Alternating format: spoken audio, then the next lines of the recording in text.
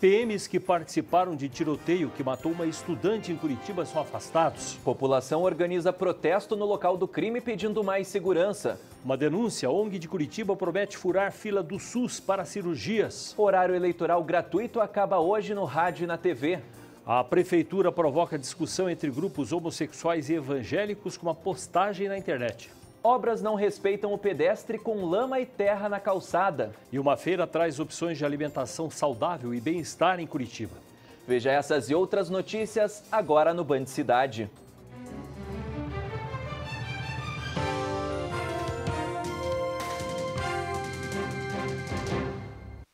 Uma boa noite para você. Uma jovem foi baleada e morreu em uma suposta troca de, de, tiros entre policiais militares e assaltantes. Os PMs foram afastados e a corregedoria investiga um vídeo que causa estranheza no caso. A escola onde Bárbara Alves estudava suspendeu as aulas nesta quinta-feira. Dezenas de colegas da estudante de 16 anos acompanharam o velório.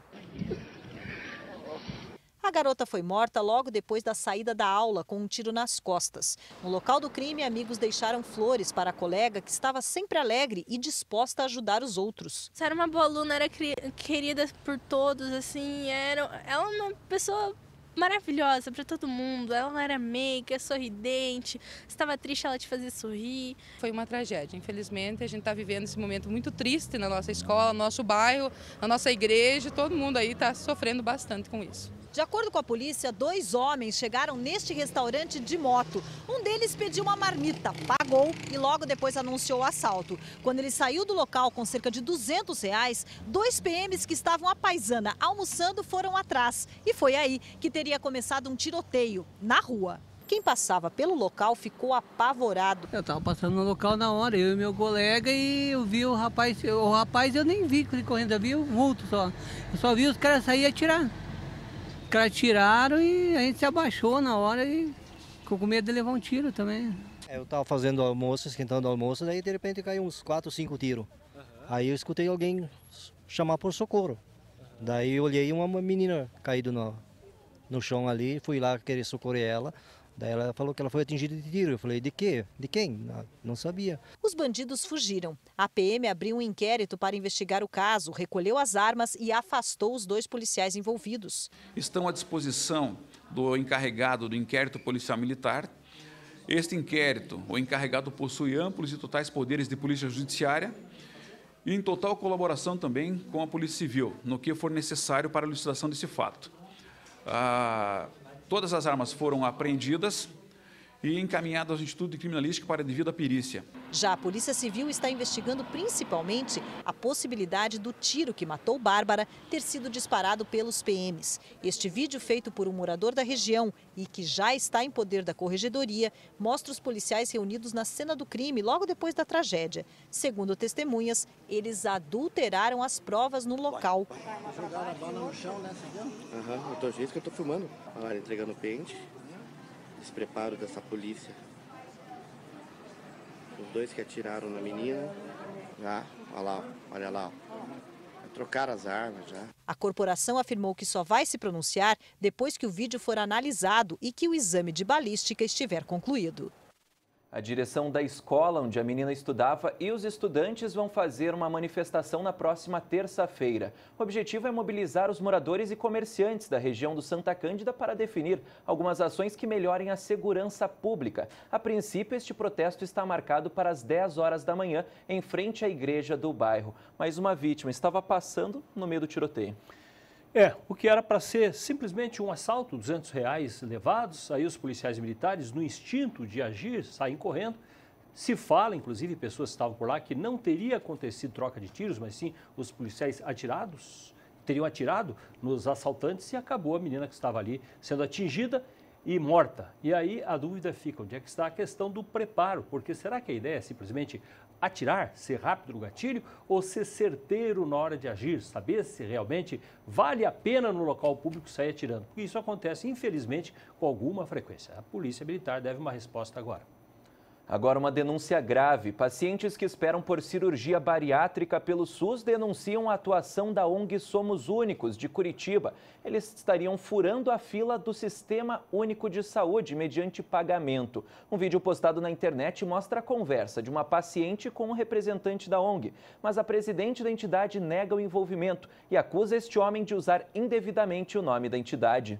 O vídeo foi postado na última segunda-feira e mostra Márcio Francisco Câmara representando a ONG Somos Únicos em uma conversa pela internet com uma mulher que supostamente quer fazer a cirurgia para redução de estômago.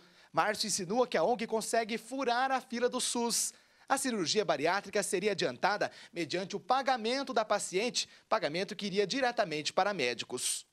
Esse fura-fila que a gente está tá fazendo, teoricamente, até as contas da ONG estarem prontas sendo feito pela minha conta particular, a gente está transferindo diretamente para os médicos. Então a gente faz a operação pelo SUS, por vídeo e não aberta, consigo todos os exames. Esses exames são particulares, a ONG banca os exames, então esses exames vai fazer na tua região. A presidente da Somos Únicos garante que a ONG jamais atuou na antecipação de cirurgias bariátricas pelo SUS. Suelen afirma que a ONG, fundada em 29 de abril deste ano, por iniciativa de Márcio, sequer saiu do papel, já que não há CNPJ e muito menos sede própria. Apenas diretoria, formada por profissionais como de relações públicas, fisioterapia e psicologia. Ela diz que Márcio nunca fez parte da diretoria. O que eu soube que ele fez, e até vi na questão do vídeo, foi que ele mandava o estatuto da Somos Únicos, se dizendo parte da entidade, né? E se você for analisar o estatuto, o nome dele não consta. Ela afirma que foi ameaçada a deixar a presidência da entidade e que há denúncias de pacientes de quatro estados. Tanto eu quanto as outras pessoas que acompanham a diretoria foram ameaçadas várias vezes. Né? Eu tenho os áudios, eu tenho e-mail, eu tenho várias formas que a gente pode provar isso. É, ele se colocou para mim da seguinte forma: você vai renunciar. A reportagem tentou contato com Márcio Câmara por telefone, que foi passado pela diretoria da ONG, mas as ligações caíram todas na caixa postal. A ONG também passou o endereço onde supostamente Márcio mora. A reportagem foi até lá, conversou com a família que não quis gravar entrevista e que afirmou que Márcio não estava e que não morava no endereço. Malandragem dele de vender isso e de quem compra também tentando furar a fila do SUS. É uma denúncia gravíssima porque é na área da saúde, principalmente, que tem muitas vezes hospitais que têm esquemas, isso no passado acontecia muito e ainda acontece às vezes outras, de, de cobrar por fora, todo mundo sabe, mas aí a caracterização de um golpe está muito clara. O horário eleitoral gratuito acaba hoje, mas e aí, os programas eleitorais dos candidatos serviram para ajudar a decidir o voto? Mais de 10 milhões de paranaenses. que elegeram a primeira O discurso e a criatividade dos candidatos chamam a atenção dos eleitores, mas eles estão mesmo de olho nas promessas que cada um apresenta. É muito falatório um do outro, eles não falam da da essência da política, do que a gente precisa exatamente, ficam só xingando os outros, eu não gosto. Ah, eu acho que é essencial, é tudo, né? Como que você vai escolher, como, como que você vai poder escolher o candidato, como que você vai poder comparar? É, os candidatos não têm visão, não têm uma proposta real. Eles se preocupam de lavar a roupa suja. Eu acho válido, é bom para a pessoa esclarecer, né? Ficar assim, se informar, né? A função das emissoras é garantir a execução das propagandas eleitorais gratuitas. Durante 50 minutos, elas são transmitidas a nível nacional e os minutos a mais podem render votos. O espaço utilizado pelos candidatos para disseminar propostas começou no dia 11 de agosto e termina hoje. Havendo o segundo turno, o programa poderá retornar às rádios e TVs até o próximo dia 11 de outubro. Na realidade, é o grande mecanismo de comunicação dos partidos políticos em nível nacional e estadual. Ele hoje é o principal veículo de convencimento de possibilidade de apresentação de propostas dos candidatos, tanto majoritário como os candidatos a proporcional, que são os deputados estaduais e os deputados federais. Esta é uma forma da gente conhecer quem que está concorrendo, pelo menos. É, como foi dito, é o principal veículo, mas infelizmente foi muito deformado. Antigamente você via o próprio candidato, no tempo que não existia toda essa parafernália tecnológica. Agora o que você vê é uma briga de marqueteiros, porque o candidato praticamente aparece pouco. E quando aparece, não é ele que está falando, ele está lendo alguma coisa que a equipe escreveu para ele. Então é muita encenação, muito comercial de televisão, exatamente isso que eles estão fazendo através do marketing político. E você, se fizer um teste, vai ver que vai se lembrar das brigas, mas dificilmente vai se lembrar de alguma proposta real. E atenção, não esqueça de levar a colinha no dia das eleições. Lembrar tanto número não é fácil. Pelas ruas e calçadões, nas últimas semanas, não faltaram cabos eleitorais distribuindo panfletos e os populares santinhos a estratégia é ser conveniente, facilitar principalmente com eleitores que têm mais dificuldade para guardar os números e a ordem de votação. Não, primeiro deputado estadual, depois deputado federal, depois governador. Depois que não, hein? Senador, depois governador, depois presidente. É difícil. É, realmente é, né? É bem por isso que a popular colinha é permitida pela Justiça Eleitoral o eleitor deve levar anotado a relação de candidatos que irá votar para não literalmente dar um branco.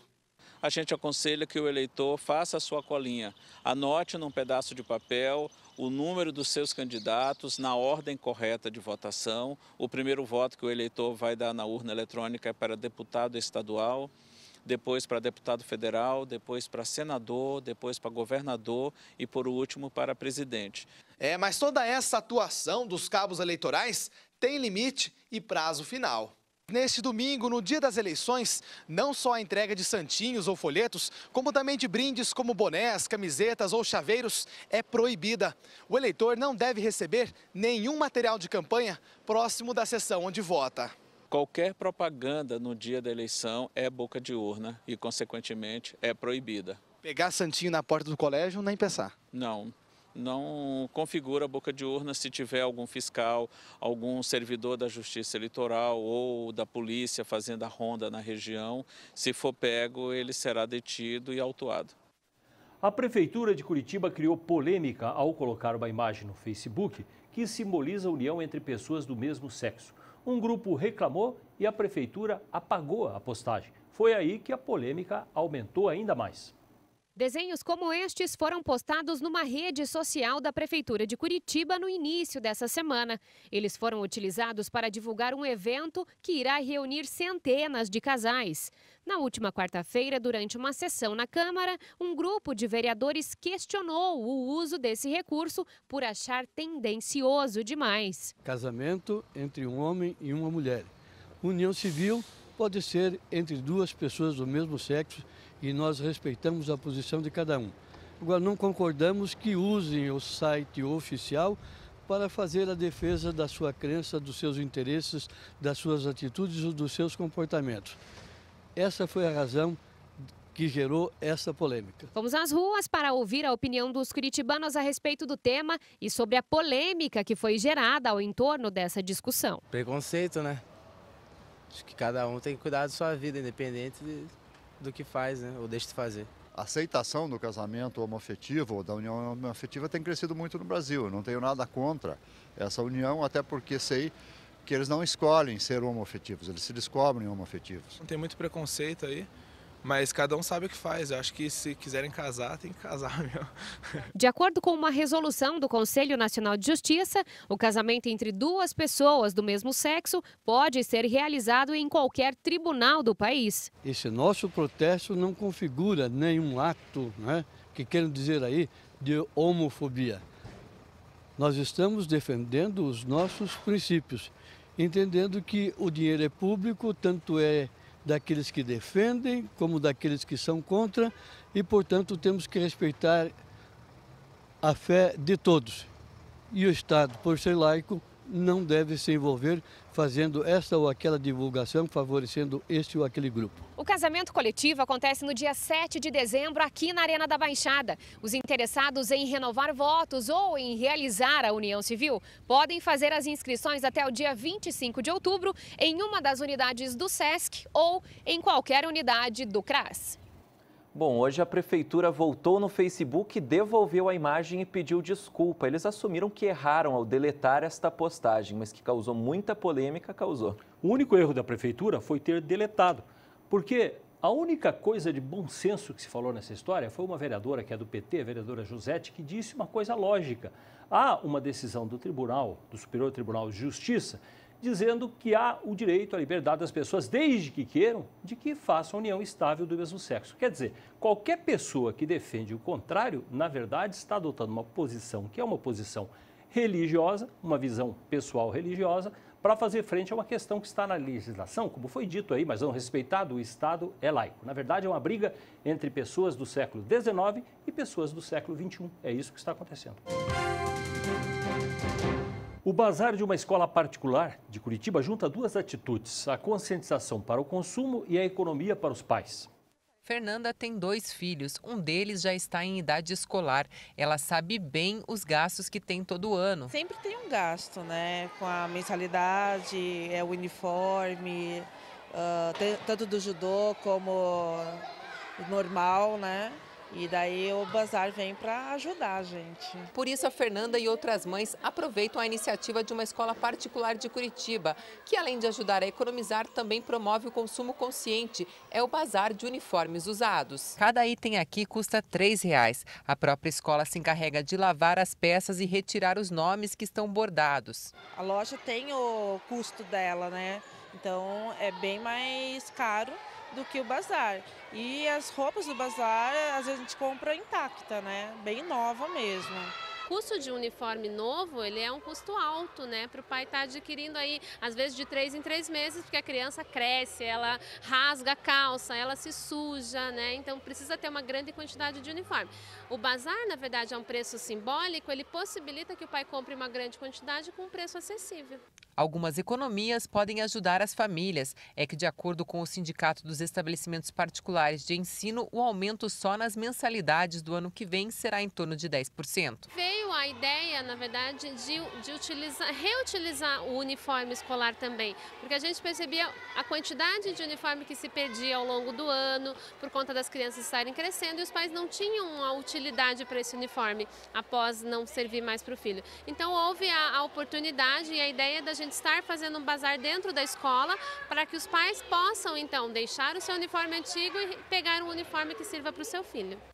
A boa educação pode evitar multas ou acidentes em construções. Exemplo disso é lavar a sujeira deixada no asfalto na saída das obras. Mas não é o que acontece em vários casos, como neste que nós vamos mostrar do bairro Juvevê. Uma obra não respeita o pedestre e avança com lama e terra na calçada. Buracos que não estão 100% cobertos, caçamba na rua e barro cobrindo parte do espaço destinado à circulação de pedestres. Duas obras na rua Bom Jesus, no bairro Juvevê, estão deixando marcas, só que de muita lama ao longo da via. Portanto, mais atenção aos donos dos empreendimentos e também das construtoras. E a Secretaria Municipal do Urbanismo informa que as empresas responsáveis pelas obras na Rua Bom Jesus foram notificadas depois da reportagem. Eles devem reconstruir a área de passeio em cinco dias no máximo. O caso de uma das empresas, ela também foi notificada para limpar esta área num prazo de 24 horas. A Secretaria informa que elas serão monitoradas quanto ao uso inadequado da calçada.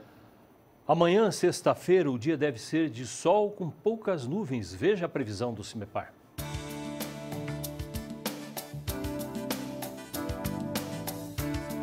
Em Curitiba, a previsão para esta sexta-feira é de nebulosidade variável e chuva no final da noite. Temperaturas entre 10 e 17 graus. No litoral do estado, chuviscos ocasionais com pancadas de chuva no final da tarde. Temperaturas entre 16 e 20 graus. E nos Campos Gerais, nebulosidade variável e sol com poucas nuvens no final da tarde. Temperaturas entre 10 e 18 graus. Começou hoje em Curitiba uma feira que traz opções de alimentação saudável. Os visitantes também podem ver novidades sobre o bem-estar e a atividade física. Solange é celíaca há oito anos. Isso quer dizer que ela tem alergia ao glúten, substância que contém no trigo. Ela conta quais são os sintomas e a dificuldade dos portadores dessa alergia. Desde diarreia, estufamento, né? Tem pessoas que não têm sintoma, mas ela, ela tem as velocidades do intestino afetadas e, consequentemente, ela não absorve vitamina, portanto, ela tem anemia crônica, ela tem osteoporose precoce, ela tem problema de tireoide precoce, então ela vai desenvolvendo outras, outras doenças associadas pela, pela má absorção de vitamina e pela é, inflamação das velocidades, né, que acabam, esse anticorpo acaba afetando outras partes do organismo com o intuito de divulgar produtos para alimentação saudável e promover atividades que trazem bem-estar e saúde. A feira Vivercom fica até o dia 5 de outubro em Curitiba. Essa feira ela foi programada como um mix né, de produtos e serviços para quem busca realmente qualidade de vida. Então nós vamos ter desde esportes, alimentação saudável, suplementação, roupas conforto, né? Então realmente ela foi idealizada com esse intuito. Quem vier na feira poderá ver palestras e conhecer formas de alimentação bastante diferente, como os crudívoros, vegetarianos que comem alimentos sem cozinhar. Este guru desse tipo de alimentação, há 38 anos, come os alimentos somente crus. Tenho muita energia e solamente necessito unos 4 ou 5 horas de dormir cada noite, porque meu corpo não tem tanto trabalho de reparação para fazer, porque não tem toxinas para mobilizar durante esses tempos. Além da parte direcionada para alimentação, há espaços para lazer, debates sobre artes marciais e espaço para aula de zumba. Tem muita gente hoje que precisa de uma alimentação diferenciada e aqui ela vai encontrar a parte de sem glúten, né, os celíacos, que busca muito alternativa de alimentação. Esta feira acontece na Expo Renault no Parque Barigui. A entrada custa 10 reais. O terminal de containers do Porto de Paranaguá já funciona normalmente depois da reforma. A mudança agilizou o embarque e desembarque dos navios. O navio de quase 300 metros de comprimento era o único com embarque e desembarque de cargas. Mas, na verdade, outros dois iguais a este poderiam ser carregados ou descarregados ao mesmo tempo. Isso porque o novo cais do TCP, Terminal de Contêineres de Paranaguá, ampliou o espaço de atracação de 560 para 880 metros. E agora, o Porto de Paranaguá tem capacidade para receber os maiores navios comerciais da América Latina. Com mais quatro equipamentos como este, tirando e levando contêineres para os navios, o tempo de parada nos cais diminuiu. À medida que esses navios ficam pouco tempo parados em função de uma alta produtividade do terminal, o custo logístico total tende a cair. Em função disso, você consegue viabilizar mais exportações e mais importações através do terminal. Foram 365 milhões de reais investidos com financiamento junto ao BNDES. Com mais agilidade no carregamento e desembarque de cargas, a movimentação de 750 mil contêineres por ano no porto também vai aumentar.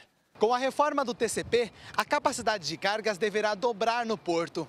A expectativa é de que, por ano, sejam movimentados 1 milhão e 500 mil contêineres. Isso porque a logística do transporte de entrega e busca de cargas no porto também foi ampliada. Funciona assim: o caminhão entra no porto com hora marcada no agendamento eletrônico e é direcionado para o local exato onde fará o carregamento ou deixará o container. Uma carga, quando está chegando, a gente sabe exatamente qual container está chegando, qual que é o navio que ele vai embarcar, qual que é a sua destinação, em que, em que ponto do terminal ele tem que estar tá aguardando para ser embarcado. E o contrário, da mesma forma, funciona. Né? O caminhoneiro que vem aqui para retirar a carga, ele tem horário marcado, que vai até a sua posição aqui no bloco dentro do terminal, retira o container e está liberado para seguir viagem. No carregamento aqui, se tiver no agendamento ali, é cinco minutos já está lá dentro. Uma ótima noite para você. Até amanhã.